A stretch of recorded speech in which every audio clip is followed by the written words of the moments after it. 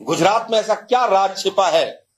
दोनों लोगों का कि गुजरात में इतनी ताकत लगा रहे हैं गली गली कूचे कूचे घूम रहे कौभांडों की संख्या लगता काफ़ी ज़्यादा है यहाँ। आज हालत यह है कि चार चार मुख्यमंत्री दूसरे राज्यों से आए हुए हैं। एक दर्जन से ज़्यादा केंद्रीय मंत्री यहाँ पर डेरा डाले हुए हैं और उसका सीधा कारण यह है कि जो टू सी का मॉडल है, करप्शन और कमीशन का उसकी वजह से गुजरात की जनता ने भाजपा को चुनाव लड़ने से पहले इस बार हरा दिया।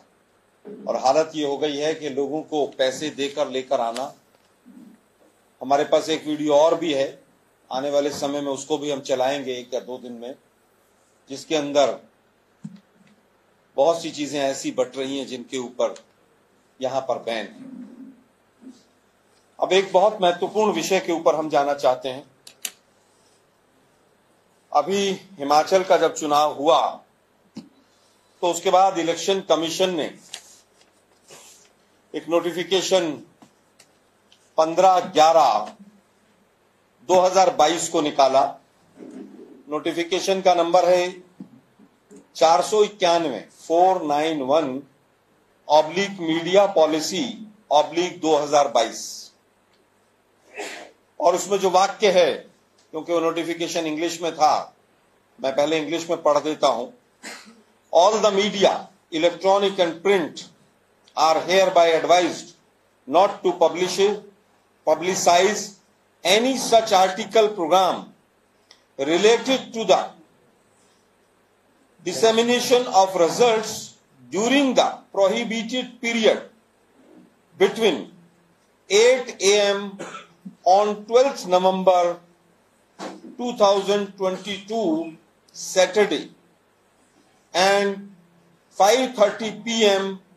5th November 2022 Monday in the current general elections of the state legislative assemblies of Himachal Pradesh and Gujarat 2022 to ensure free and fair elections as stated above in the commission's communication. Election commission की खुद की ruling है और इससे पहले supreme court भी इस मामले में आगाह कर चुका है कि इस तरह के ओपिनियन पोल सर्वेज ये नहीं चलने चाहिए। लेकिन दुर्भाग्य कि इस तरह का खेल चल रहा है। इस तरह के आंकड़ों की फिटिंग करके, सेटिंग करके दिखाई जा रही है कि भाजपा एक तरफ़ से जीत रही है, कांग्रेस एक तरफ़ से हार रही है, और जितना प्रसाद आम आदमी पार्टी ने डाला है, उसको भी कहीं ना कहीं दिखाया जाए ताकि वोट शेयरिंग बना रहे। जिस आम आदमी के पार्टी के दो दो कैंडिडेट ये कह के पीछे हट गए चुनाव से कि भाजपा का वोट नहीं कटना चाहिए। हम भाजपा के पक्ष में आ रहे हैं। उनको भी मीडिया जो है वो सीटें दिखा रहा है। जब इलेक्शन कमीशन ने अपने नोटिफिकेशन में कहा कि साढ़े पाँच बजे, पाँच तारीख तक आप इस तरह की चीज़ें नहीं दिखाएँगे, उसके बावजूद ये चीज़ें क्यों दिखाई जा रही हैं? कांग्रेस पार्टी इलेक्शन कमीशन से इस मामले में जवाब चाहती है। तमाम ओपिनियन पोल जिनमें दिखाया जाता है 2200 का सैंपल पर सर्वे है। मैं न्यूज़ चैनल्स का नाम नहीं लेना चाहूँगा यहाँ पर। 2200 का सैंपल सर्वे, पौने छह छह करोड़ वोटर गुजरात के अंदर। तमाम जातियों का भी पता चल गया उनको। तमाम धर्मों का भी पता चल गया। क्षेत्र वाइज भी पता चल गया। और उसमें इस तरह से सेटिंग करके बैठाते हैं कि कोई सवाल ना उठाए।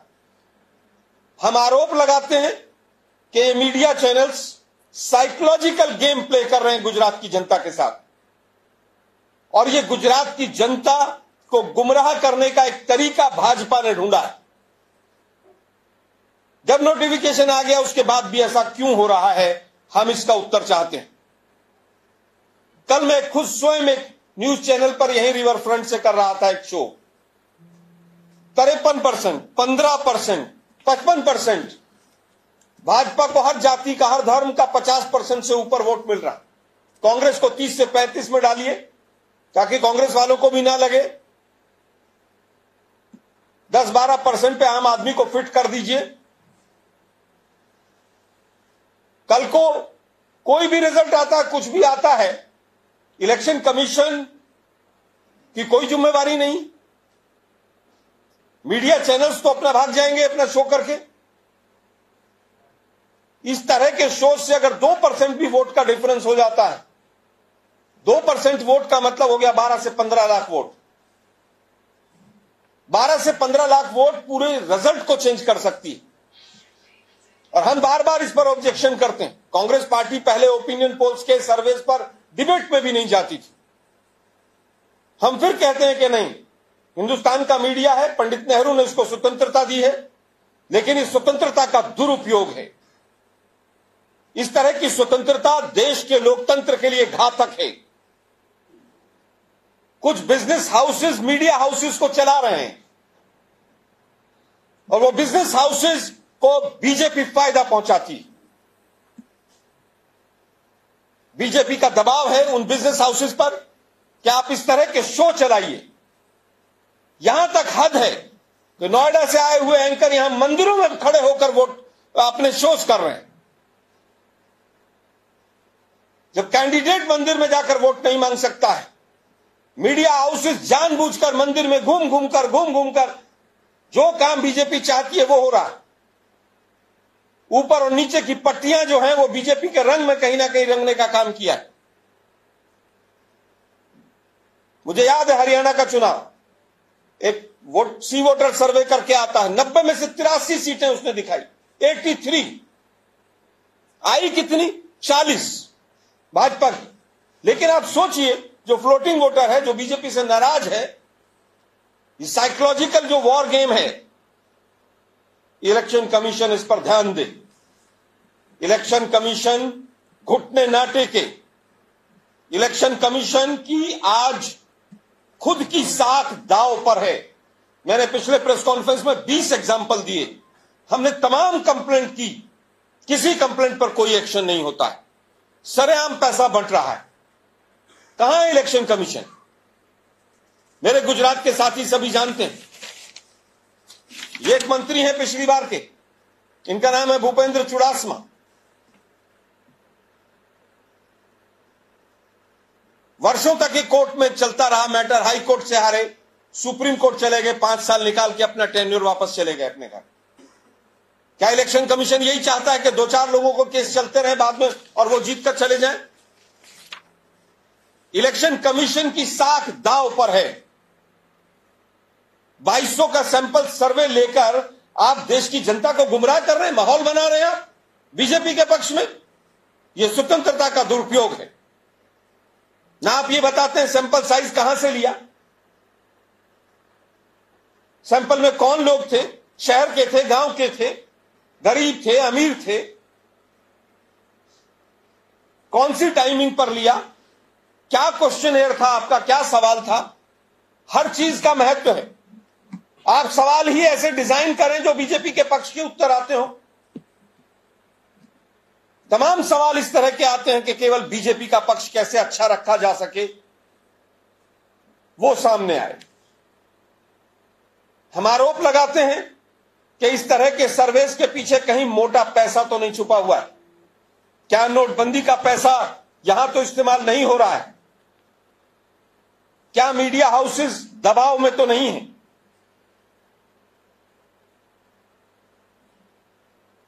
लगी हुई है। कौन भाजपा के नज़दीक कितना दिखाएगा? मैं सबकी बात नहीं कर रहा कुछ चैनल्स हैं जिनके अंदर आपस में प्रतिस्पर्धा लगी हुई है कि शाम को डिबेट कैसे, कितनी गंदी से गंदी की जाए, किस तरह से भाजपा को पक्ष दिखाकर उसको आगे दिखाया जाए।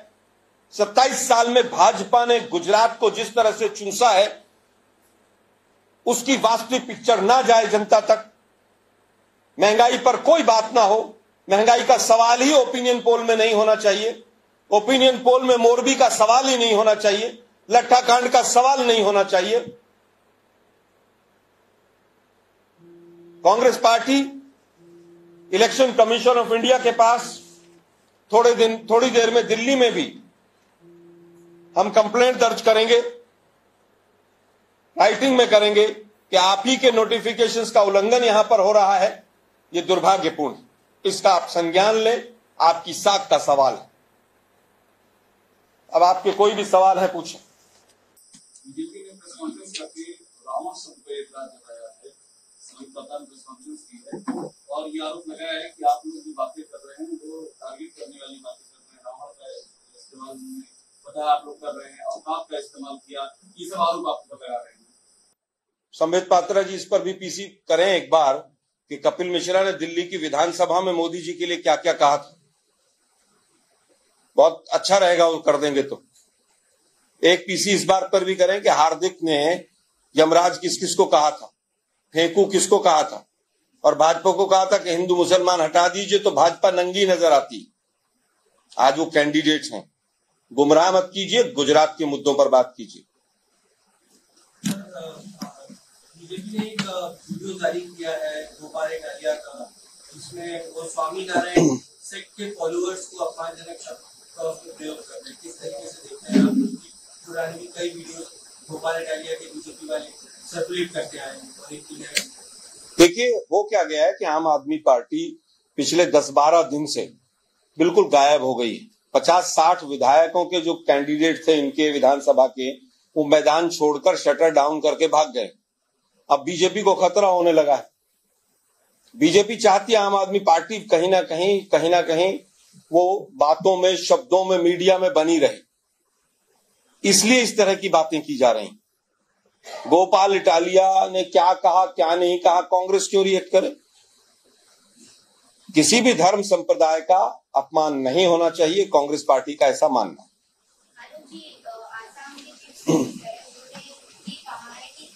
आलोक जी आसाम के चीफ मिनिस्टर उन्होंने ये कहा कि 2015 जो राइट्स उसका ज़िक्र 2045 के इलेक्शन में भी किया जाएगा क्योंकि 2002 के बाद गुजरात जो उसमें राइट्स बन हुए देश का भाग्य इतना दुर्भाग्य नहीं है कि 2045 तक भी वो इस बातें करने लायक रहेंगे।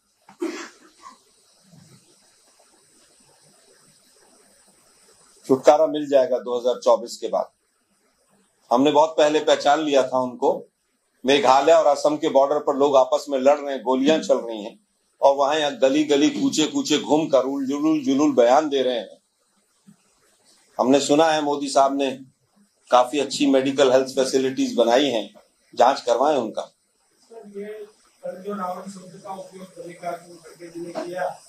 इसको भाजपा इस तरह से बोल रही है कि बड़ा को रावण बोला गया है। कांग्रेस की इस पर क्या नहीं, उन्होंने सिंबॉलिक कहा है कि हर चुनाव में केवल एक फेस के साथ आप जाएँगे, देश की जनता न्याय चाहती है। देश के प्रधानमंत्री आपको बनाया था, भाजपा का पंचायत का प्रचार मंत्री थोड़ी ना बनाया था देश की जनता ने आपको। भूखमरी के इंडेक्स पे देश नीचे जा रहा है डॉलर नीचे जा रहा है, रुपए की तुलना में। किस तरह से तमाम समस्याएँ मुँह बाए खड़ी हुई हैं, आप केवल और केवल गोल पोस्ट रोज बदलते चले जा रहे हैं। पहले आप आए थे तो आपने कहा था, अरबनी नक्सली ढूँढने आया हूँ मैं यहाँ पर। याद होगा, मोदी साहब आए थे। जब हमने कहा, साहब 107 केस वाला यहाँ पर एक अर्बन नक्सली ले जाओ, इसको हवाई जहाज़ में बैठा के। अगले भाषण खत्म। उसके बाद वो टोपियाँ आ गई और पता नहीं क्या क्या आ गया, फिर यूनिफॉर्म, सिविल कोड आ गया, फिर जनसंख्या कानून आ गया, फिर 2002 आ गया। अरे भाई 27 साल की आपकी सरकार है। ये बताओ ना हमने क्या किया? बताओ लट्ठा कांड में कितने लोग कल दोबारा जहरीली शराब से तीन लोग मर गए उसके ऊपर उत्तर दो ना। जब शराब बंदी है तो जहरीली शराब कहाँ से आ रही? ग्यारहवीं क्लास के बच्चे के बैग में ड्रग्स कहाँ से आ रहे हैं, ये बताइए ना। चुनाव के नैरेटिव को डेविएट मत कीजिए। हमने कहा सिंबॉलिक खड़गे साहब ने कहा कि जिस तरह से बहुत चेहरों के साथ आदमी चलता है लेकिन अहंकार रावण का भी नहीं रहा था भाजपाइयों का भी नहीं रहेगा। गुजरात को वो टेकन फॉर ग्रांटेड ले रहे हैं। इस बार गुजरात से भाजपा तड़ी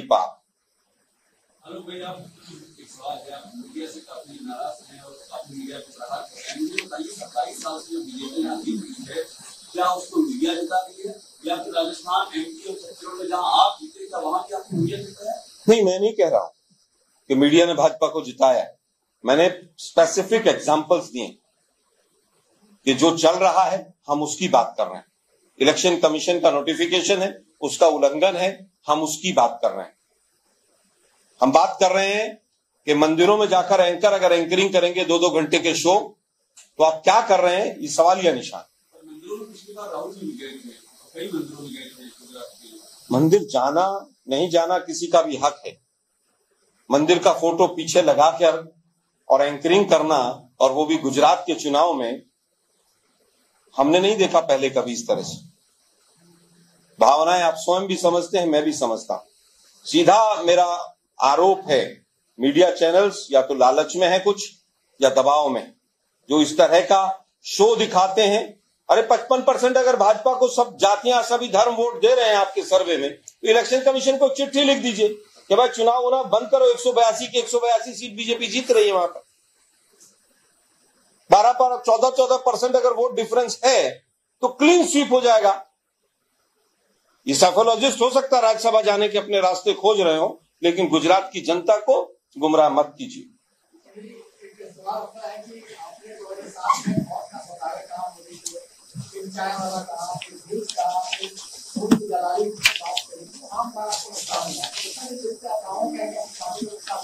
नहीं हमने उनको रावण नहीं कहा। सिंबॉलिक है। रावण के दस मुँह है, रावण की तरह अलग अलग बातें मत कीजिए। ये कहा जाता है। मोदी जी ने अपनी सांसद, सहयोगी सांसद को शुरूपन खा कहा, किसी मीडिया चैनल की हिम्मत हुई? किसी बीजेपी वाले से सवाल पूछ ले। क्या वो ठीक था? साढ़े आठ साल बाद भी सवालों के जवाब हम ही देंगे। जर्सी, बछड़ा और पता नहीं क्या क्या कहा। पचास करोड़ की गर्लफ्रेंड और ये देश के प्रधानमंत्री को शोभा देता है। एडीआर की रिपोर्ट दिखाइए, किस तरह से किस किस शब्दावली का इस्तेमाल हुआ। वास्तविकता के धरातल पर चुनाव होना चाहिए। हम मीडिया का सम्मान करते हैं, लोकतंत्र का चौथा स्तंभ है। और डरिए मत। जी, आपने ये जो वीडियो बताया, वीडियो के बारे में जब भाजपा को पूछा तो ने बोला कि टेक्नोलॉजी का यूज़ करके ये वीडियो बना है। वो हम पैसे बांटने वाले टेक्नोलॉजी का यूज़ करके इनका जो फर्जी ट्रिक्स डिपार्टमेंट है वो काम करता। अभी चार दिन पहले भारत जोड़ो यात्रा में कांग्रेस पार्टी जिंदाबाद के नारे लगे। उसको चला दिया पाकिस्तान जिंदाबाद के नारे। एफआईआर हुई तो भाग खड़े हुए सब। उस दिन भी एक मीडिया चैनल, एक नोएडा की टीम आई हुई थी। वो यहाँ रिवर फ्रंट पर उस पर पूरा शो करके गई। मीडिया के साथियों का भी फ़र्ज़ बनता है कि अगर कोई चीज़ है तो उसकी जाँच पड़ताल कर ली जाए उसके बाद उसको चलाया जाए। काफ़ी सर ये कल जिस तरीके से कैंपेनिंग के वक्त सूरत के अंदर कई वीडियो आ रहे हैं रिपोर्ट किया गया है कई लोग किसी को मार रहे हैं कुछ दो पार्टी के बीच में होता हुआ किस तरीके की राजनीति को देख रहे हैं क्योंकि कैंपेनिंग के वक्त अब वायलेंस भी नज़र आ रहा है पत्थरबाजी भी हो रही है केवल कैंपेन में नहीं घर घर में जिस तरह से जब से भाजपा का शासन आया है वायलेंस इन्होंने सब लोगों के बीच में घुसा दिया। है एक पढ़ाने वाला अध्यापक क्लास में बैठे हुए एक बच्चे को टेररिस्ट कह रहा है। आप क्या नींव डालकर जा रहे हैं? केवल सत्ता? गुजरात हार रहे हैं आप। हार जाइए ना, क्या आफत है? क्या 25 चुनाव और नहीं हारे आप 2014 के बाद? क्या दिल्ली तीन बार नहीं हारे? बिहार नहीं हारे आप? पूरा नॉर्थ ईस्ट नहीं हारे? राजस्थान, छत्तीसगढ़, मध्य प्रदेश, कर्नाटक, क्या नहीं हारे आप? गुजरात में ऐसा क्या राज छिपा है दोनों लोगों का कि गुजरात में इतनी ताकत लगा रहे हैं गली गली कूचे कूचे घूम रहे कौभांडों की संख्या लगता काफ़ी ज़्यादा है यहाँ।